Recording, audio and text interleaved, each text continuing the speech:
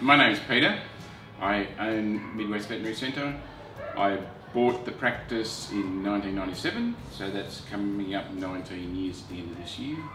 It's been a very long-winded exercise, um, developing the practice, meeting people, meeting the clients, but pretty much enjoyable right throughout. My best thing about um, working here is, I think, watching people develop in uh, working for me as leaders, as vets, as nurses, and continuing to grow.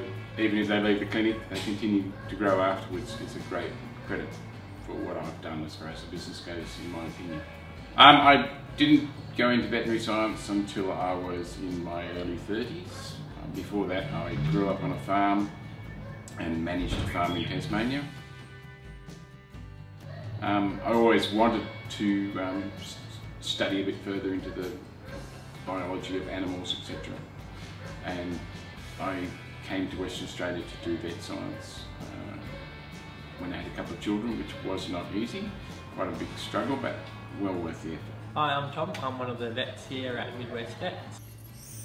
I graduated from Murdoch University in Perth and I've been here for about six months now. Um, things I like about working at Midwest is the good team dynamic that we have and the lots of variety of cases that we see through the door.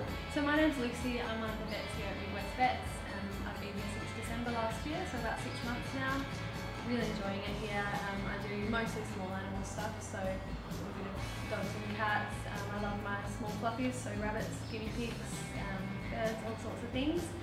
Um, the best thing about Midwest Vets is the team here. I think we've got a really good environment. Everyone loves their job and everyone loves every animal that walks through the door. Um, I'm from Southwest originally, so moving up into Geraldton was a bit of a change of scenery, but really enjoying it so far. And loving life here in the Midwest, and I'm excited to kind of stay here for at least the next couple of years. Hi, I'm Suellen and I've been at Midwest for about six years, but I've been a vet for over 20 and I've been in Geraldton for quite some time. Uh, I have um, an interest in all parts of veterinary medicine. I like horses and also like dealing with small animals, hence why I like working at Midwest because I have a range of clients that we get to see.